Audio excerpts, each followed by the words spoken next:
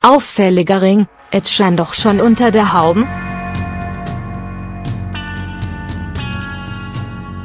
Hat er sich nun getraut oder nicht? Pünktlich zum neuen Jahr teilte Ed Sheeran, 27, sein ganzes Glück mit seinen Fans und der Welt, er und seine Heichschuhe-Liebe, 25, haben sich verlobt.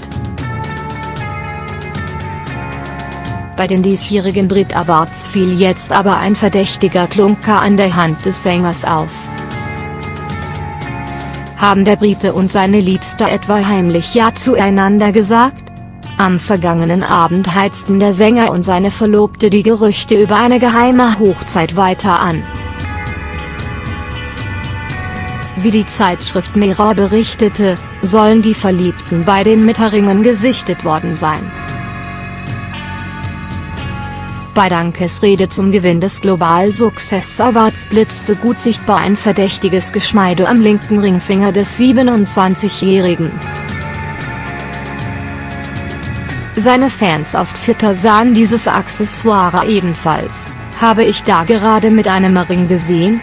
Ich wusste nicht, dass es schon passiert ist oder bin ich der Einzige, der mit einem Ring gesehen hat? Lauteten einige aufgeregte Kommentare. Das Couple hat sich bislang noch nicht zu den Gerüchten geäußert. Schon vor ein paar Tagen wurde über einen möglichen heimlichen Ringwechsel spekuliert. Bei einem Gleich in der Londoner O2 Arena sah man den Rotschopf zum ersten Mal mit dem Schmuckstück. Bis zu diesem Zeitpunkt soll der Supper of You-Interpret keinen Schmuck an seinem Ringfinger getragen haben.